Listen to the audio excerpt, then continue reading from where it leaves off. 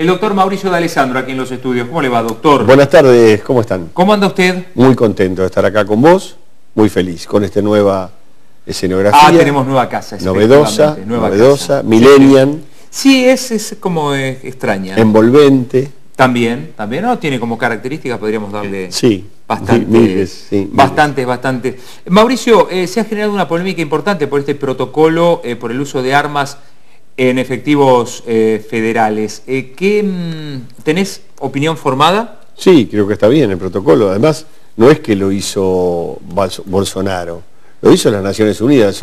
Las Naciones Unidas es una asamblea general con todos los países del mundo y donde priman los más chiquitos y los que menos están eh, englobados en las grandes potencias, y un Consejo de Seguridad de siete, formado por siete potencias, que son las más reaccionarias. Pero la Asamblea es la que dice que nosotros tenemos derecho a las Malvinas, la Asamblea es la que siempre está en la vanguardia progresista y aprobó esto. ¿Qué les asusta? A los chorros les asusta. Digamos, ¿a quién le asusta? ¿A la gente de bien le asusta?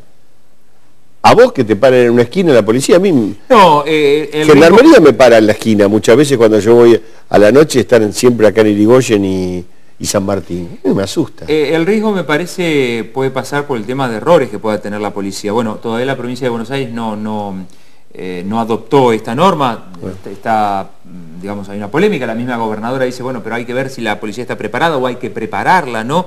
Por ahí creo que el, tema de los errores de la policía, ah, bueno, porque acá un error no sé, puede matar a un inocente, ¿no? Sí, por supuesto, eso es peligroso, hay que mejorar la policía. Obviamente Chocobar, yo tengo una postura tomada sobre eso.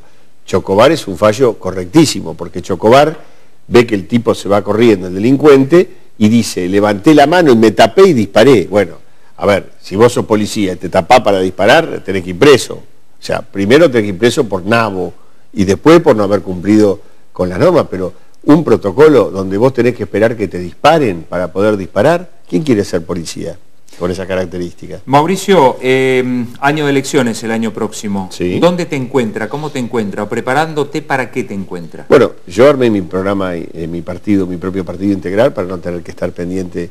Hoy estaba en la casa, en el viejo 22653 de mi mamá, teléfono, una encuesta, una primicia para, para mi ciudad.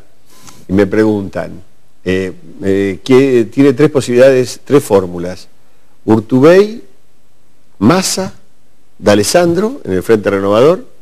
Yo me voté, porque no podía... Te votaste vos. Me voté. Eh, sí, había que tocar el, el de mi mamá, todavía tengo problemas porque es con... ¿En serio tenés Tuve que salir corriendo al inalámbrico porque mi vieja tiene con disco. Con disco, bueno. después, Cristina Kisilov y Parraguirre. O Macri, Vidal, eh, Lungui. Y después, internas en Cambiemos, no me ponían a mí en Cambiemos. Internas en Cambiemos, Lungui, Santa Marina y Nicolini. Se ve que no hablaron con la gobernación y no saben que la gobernadora no piensa abrir las internas donde hay eh, municipios que han ganado o que son oficialistas. Eso no va a pasar. No las piensa abrir oficialmente ahora. sí en Mar del Plata sí, en Mar del Plata las piensa abrir, pero en los demás distritos no, hay 60 y seis distritos que son opositores. En esos 66 distritos, todas las pasos que quieran. En los que el intendente es eh, de Cambiemos, radical o del PRO y funciona bien, como es el caso de Tandil, la idea acerca de la gobernadora es no dar, no dar interna. Eh, a mí no me parece bien, pero bueno. Eh, con respecto a eso, ¿y no hay posibilidades, digamos, gente de Cambiemos que no esté de acuerdo con eso, de, saltar esa valla o ese escollo? Bueno, yo lo hice, yo elegí ir con, en lugar de quedarme, yo era afiliado radical desde el año 82. Elegí, armé mi propio partido y jugué con Massa, saqué el 50% más de votos que Massa históricamente. Sacamos el 20 en la primera, el 18 en la segunda, es decir, un 50% más de lo que sacó Massa. Eh, el, gobierno comunal, Lungui y Civalieri, se colgaron de la gobernadora que sacó 58%, ellos sacaron 54% en la primera. Es decir, había, obviamente que era mejor ir colgado de, Vidal, más yo que soy vidalista, que colgado de masa, pero yo tuve que jugar porque adentro de Cambiemos no había. Eh, ¿Hay alguna posibilidad de que seas eh, candidato a vicegobernador con Vidal? Eso circuló como una, una filtración de la... pero no, no lo creo y además lo vi como le festejaron el cumpleaños a Salvador le hicieron una torta así de grande. ¿Vos decís que sigue Salvador? Me parece que sí, porque es lo que más le conviene a... Bueno, se le arma con los radicales si no sigue Salvador. Bueno, hay muchos radicales que quieren tirar por la borda a Salvador también, ¿no? Pero a mí me parece que Salvador ha sido un buen... Lo que pasa es que a Salvador, ¿qué le falta? Le falta el nervio necesario para defender al vidalismo. No te olvides que Vidal, el propio intendente dijo esta chica, la ninguneó acá en la campaña. Y, y después Vidal, yo dije que era vidalista en marzo, abril, y algunos se pusieron locos. No los que estaban conmigo en Integrar en ese momento, que lo avalaron todos, que yo diera ese salto hacia el vidalismo. Pero mucha gente se asustó por eso y dijo, uh, Vidal, y hoy Vidal es casi candidata a presidente. No es candidata a presidente porque Macri no se quiere bajar, pero si no era la candidata a presidente.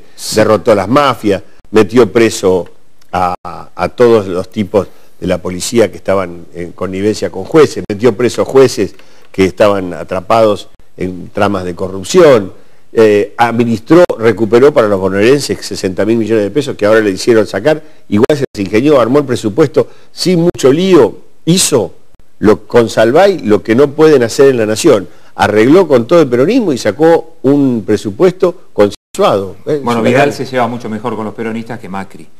Eh, de hecho, bueno, tiene algunos peronistas en, el gabinete. Seguimos charlando en el próximo bloque. Por supuesto. Eh, lo dejamos por el próximo bloque, pero acá, en ese mismo lugar donde está sentado, Escudero tildó de Araganes a algunos concejales. A todos, quiero a todos, a los 19. Quiero preguntarte si te sentiste incluido o no, pero después de la pausa. Sí, me encanta.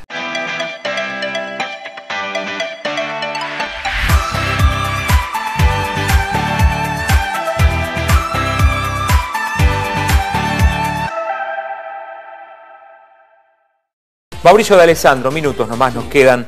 Doctor, em, aquí mismo nos decía Escudero, o hablaba de que los eh, concejales eran araganes. ¿Te sentiste identificado? No, para nada. Eh, él dijo que eran todos los concejales, me imagino que no hablaría de mí, primero porque yo tengo junto con el bloque integrar, que él contribuyó a firmar y a formar, 96 proyectos presentados. Es el bloque con más proyectos presentados. Eh, yo se los mando uno por uno a él para que los tenga. Es más, nosotros tenemos en todo el bloque dos medios módulos, se llama. Son dos empleados de 9 mil pesos cada uno. Un empleado es Diego Domínguez, gana 9 mil pesos, y el otro empleado es de Escudero. O sea, Escudero tiene designado un empleado en el Consejo Deliberante, que se llama Farinelli, para que lo informe y él pueda aportar todo lo que él sabe y todo lo que él quiere. Y él viene a la mañana, a veces viene a verlo a Farinelli, a ver a Ballén, que es su amigo, el que él puso en el, en el Consejo. Así que yo creo que se equivocó, o no entendió lo que quería decir. Por cantidad de proyectos somos el bloque con más proyectos. Y él tiene un empleado, a menos que él diga que el empleado que él tiene es un vago o un aragán, cosa que yo no creo porque lo echaría si él no viniera a trabajar todos los días. O sea, la verdad no se lo entiende. Sí lo entiendo lo que le pasó a, a mi amigo Raúl, el otro día estuve a punto de llamarlo, vi la foto de Iparraguirre, que el diario decía 1.300 personas, yo conté un poco menos, pero vamos a suponer que había mucha gente. En el encuentro de unidad ciudadana. Exacto. Estaba AUSA, con el cual dijeron que el límite para ellos era yo, porque ellos eran kirchneristas o querían hacer kirchnerismo, y yo no los dejaba, no sé. Estaba AUSA. Escudero lo invitaron, 1.300 invitaron. ¿Lo invitaron a Escudero? ¿No sabés o no me querés contar? No, no, no, supongo no que estaba, no. estaba. que no. Sub 45 en la Cámara, 70 dirigentes de primer nivel con buenas ideas, metedores, habló Almenta. ¿Escudero estaba? No lo invitaron a Escudero. Si el negro sigue tratando así a los amigos, va a ser eh, cambio justicialista en la cabina telefónica enfrente de la telefónica. Es decir, va a quedar solo.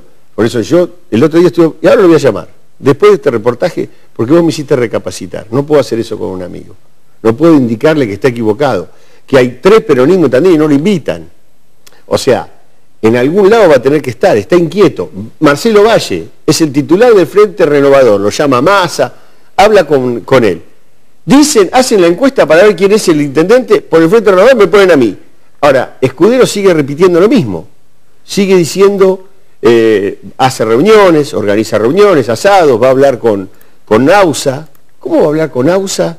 Que AUSA, el día que me senté con él, cuando AUSA quería ir con el Frente Renovador, me dijo, no lo quiero escudero cerca. No entiendo por qué él, en, el afán de qué, se aparta de quienes son sus amigos. No tenemos más tiempo, Mauricio, gracias. No, por favor, me hiciste recapacitar. Negro, ya te llamo. El doctor Mauricio de Alessandro, ya seguimos.